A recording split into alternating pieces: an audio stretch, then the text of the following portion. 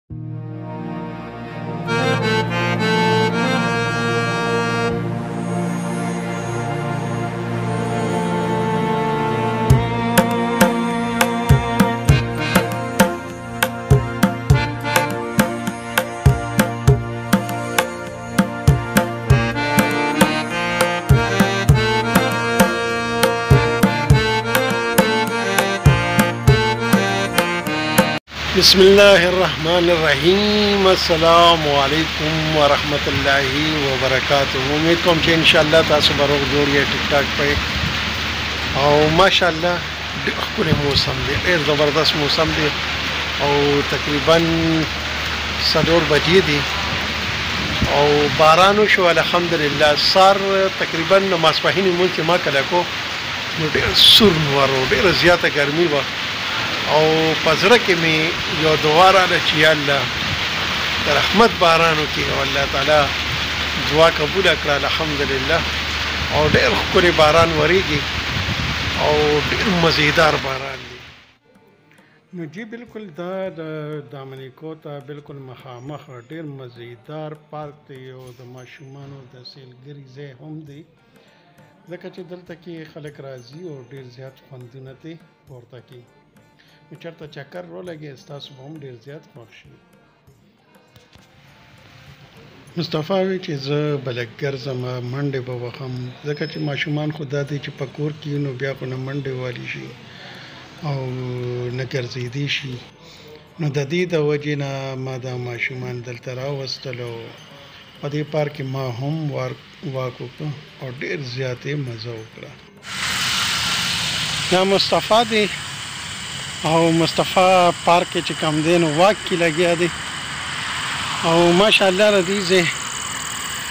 موسم او بیا فضا ماشاءالله ډیر بهترین او مو مصطفی او ماشومان کله کله راځو پارک ته دا د اسلام آباد پارک ته بالکل دامن کو ته مخامخ نو ماشاءالله ډیر مزیدار پارک دی او نظاره تاسو کتو شي چې څومره مزیدار او بهترین پارک چې اصل کې ماښام ټایم دی اوس ماښام بانګونه ویده کېدو واله دي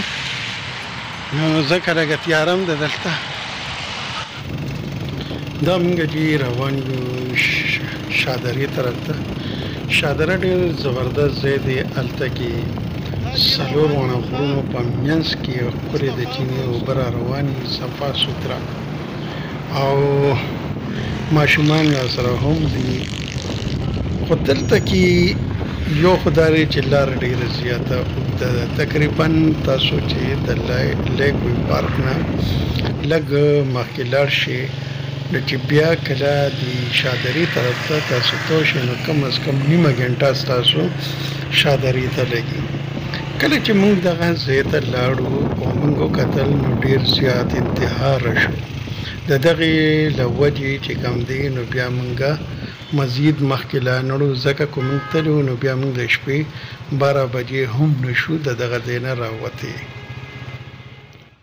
دا د ماشومانو ډیر زبردست پارک دی لیک ویو پارک